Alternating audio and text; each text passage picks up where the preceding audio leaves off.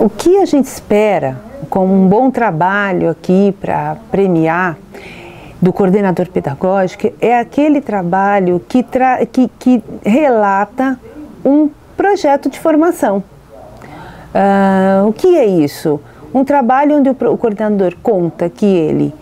observou os seus alunos na perspectiva do que eles precisavam aprender mais, do que eles já sabiam, tomou essa informação como uh, conteúdo de formação junto aos seus professores e planejou, uh, ou seja, antecipou os encontros com os professores para estudar.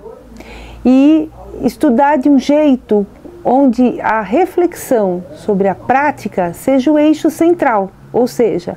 o, coordenador organizar, uh, se organizar para observar a sala de aula, se organizar para ler registro dos professores, para analisar a produção das crianças junto com os seus professores,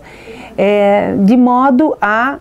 ajudar ajudá-lo a saber ensinar melhor os seus alunos. É muito importante a gente entender como é que o, o coordenador organiza cada encontro, que problemas ele traz para o professor resolver, que textos ele traz para ser estudado,